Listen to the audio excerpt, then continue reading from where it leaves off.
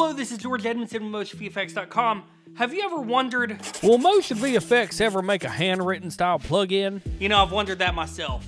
Well, wonder no more, because mEssentials Handwritten is now here. mEssentials Handwritten comes with 22 add ons, 12 infographics, 4 lists, 4 placeholders, 25 typography presets, plus effects and transitions that are going to help your videos reach the next level. Now, on to the tutorial. Once you've installed mEssentials Handwritten via mInstaller, it can be located in your effects, as well as your transitions and your titles. mEssentials Handwritten comes with multiple add ons, infographics, lists, placeholders, and typography presets. To get a real time preview, simply scrub over and you can see in your canvas how these are going to look. To apply, simply click and drag in on top of the content that you are wanting to affect. So you can see we have added our heart add-on here, and it is a very clean, very simple kind of drawn on heart there. Over in our canvas, we do have on-screen controls, so you can very quickly place that where you would like.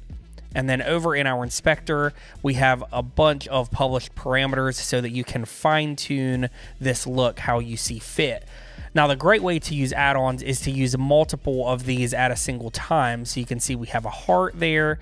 We can grab an explosion and we could take this and then maybe put it over here on this side with our on-screen control. We could grab our like, maybe make it a little bit shorter, bring it down, and we could use a like and maybe give that a little bit of a rotation just to give it some character. We have this outline here that we could do an outline if we would like over something. So you can see this on-screen control looks a little bit different.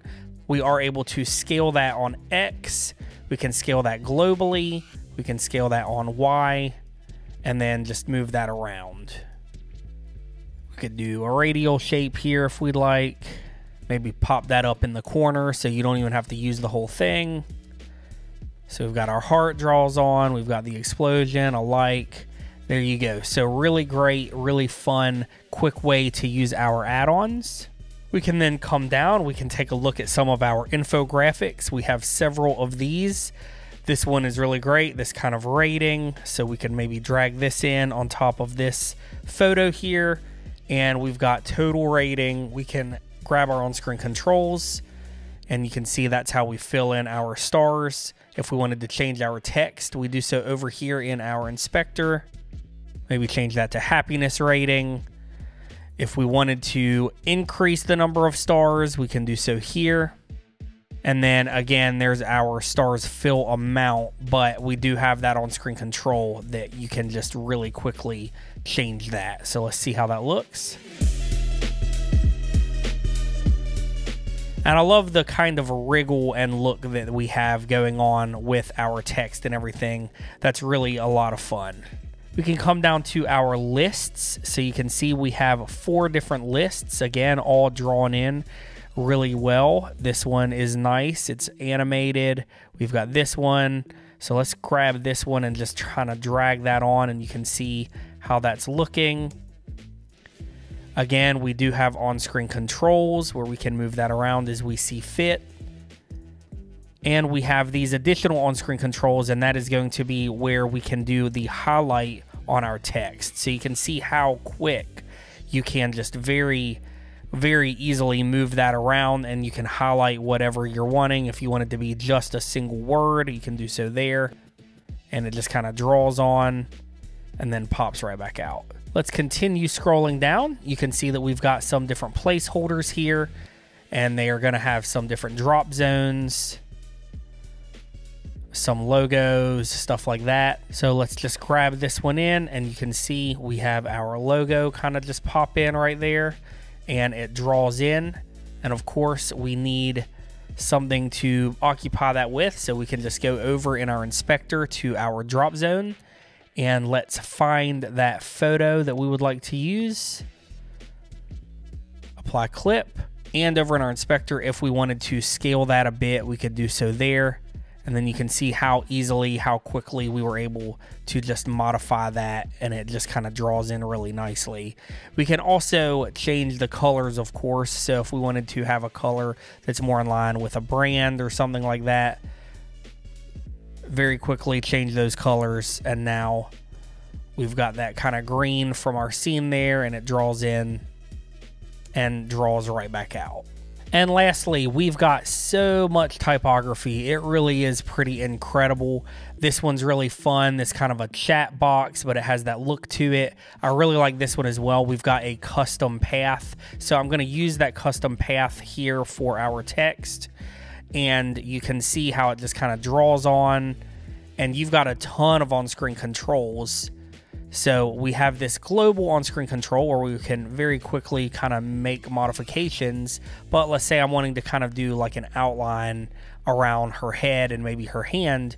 We have these additional on-screen controls. So we can very, very quickly and very easily change that text. And just modifying those on-screen controls is giving us that kind of path that we want and it's just going to follow around it.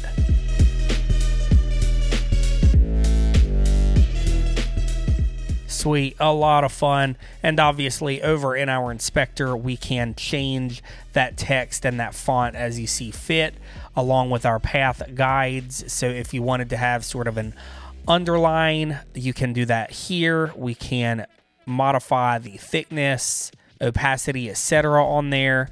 If you want to adjust your quake, so that's kind of that wriggle and movement all of these are going to have very similar on-screen controls and very similar options in our published parameters. So we've got this description, which is kind of cool.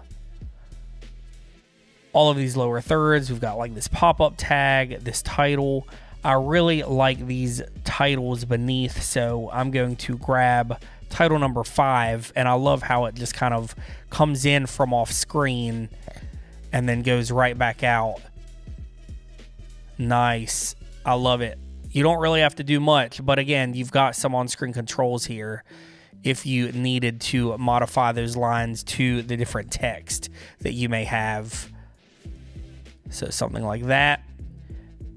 And again, over in our inspector, we're going to have very similar published parameters as earlier where we can change fonts, text, and colors, etc. So let's not forget that we do have transitions here as well. So we've got this floating words transitions that's really, really cool. We have a paint mask, we have a paint stroke, and then we have the scroll and we have a slide. I love this floating words, so I'm just going to drag this in between our two clips and you can see here that we just have that kind of mask happening. So I would like to use my on-screen control here and adjust this to be around our person there. So something like that. So we've got our text and then it's going to pop out and we're just going to open that up right there into our next scene. And we've got some different, like I said, transition. So we could grab this slide, bring it into our next clip there. And it's just going to have a really cool look. Maybe we want that arrow to be white instead of purple.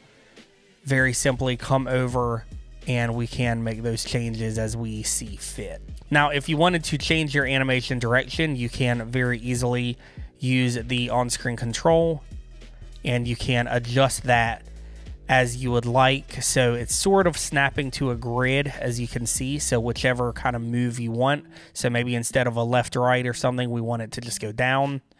There you go. So really nice way to use those on-screen controls to quickly achieve the look that you're wanting.